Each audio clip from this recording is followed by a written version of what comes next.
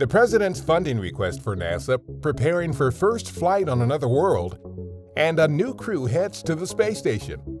A few of the stories to tell you about this week at NASA. Acting NASA Administrator Steve Jurczyk discussed the President's fiscal year 2022 discretionary funding request for NASA. The $24.7 billion funding request allows NASA to address the climate change challenge in more significant ways than we've had in the past. It allows us to understand the Earth as a system from the oceans to the atmosphere. The request includes funding also related to climate change for programs associated with the first A in NASA's name. Aeronautics has been charged with developing a more environmentally friendly aviation system. One of them is the X-57 Maxwell Flight Demonstrator. It's going to demonstrate electric aircraft technology, including distributed propulsion. Other milestones expected under the new funding request include the launch of the James Webb Space Telescope, which will look back in time to the first galaxies in the early universe. The funding request also is a strong show of support for our Artemis program and Moon to Mars exploration approach.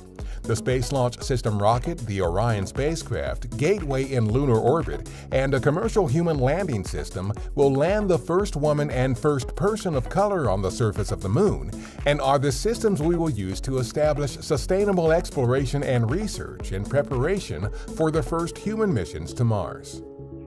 During a pre-flight briefing on April 9th, the team for our Ingenuity Mars helicopter discussed the helicopter's status and what to expect on its first attempt at powered controlled flight on another planet, currently targeted for no earlier than Sunday, April 11th. We have carefully designed, we have carefully tested on Earth, we have been checking out carefully on Mars up to now, and it's time to attempt the first flight, and we will test, prove, and learn, regardless of what the outcome is. If Ingenuity flies on April 11th as expected, a live stream confirming the historic first flight is targeted to start around 3.30 a.m. Eastern Daylight Time on April 12th. Ingenuity, a technology demonstration to test powered flight on another world for the first time, arrived at Mars on February 18th with our Perseverance Mars rover. The International Space Station's newest crew, including our Mark Vande Hei, blasted off on April 9th from the Baikonur Cosmodrome in Kazakhstan.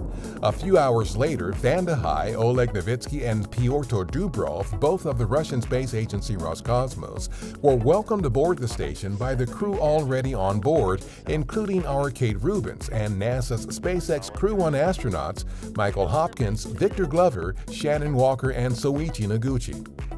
April 5th marked a first for commercial spaceflight aboard the International Space Station when the Crew Dragon Resilience spacecraft carrying NASA's SpaceX Crew 1 astronauts autonomously undocked from the forward port of the station's Harmony module and relocated to the space-facing port. The move will enable the extraction of new solar arrays from a SpaceX cargo spacecraft that will arrive after Crew 1 departs. On April 6th, engineers conducted an RS-25 engine test on the A-1 test stand at our Stennis Space Center near Bay St. Louis, Mississippi. The full duration test is the second in a scheduled series of seven tests to provide valuable data for development and production of the engines. Four RS-25s will help power the agency's Space Launch System rocket on future missions to the Moon, including the Artemis 1 uncrewed flight test targeted for this year that will pave the way for future flights with astronauts to explore the Moon and prepare for missions to Mars. NASA's OSIRIS-REx spacecraft completed a last flyover of asteroid Bennu on April 7th to document surface changes that resulted on the asteroid during the mission's sample collection maneuver last October. It will take until at least April 13th to downlink all of the data from the flyby. A survey of the sample collection site could teach us more about the nature of the surface and subsurface materials and the mechanical properties of the asteroid. OSIRIS-REx is scheduled to return to Earth with the sample material it collected from Bennu in September 2023. That's what's up this week at NASA. For more on these and other stories, follow us on the web at nasa.gov/twan.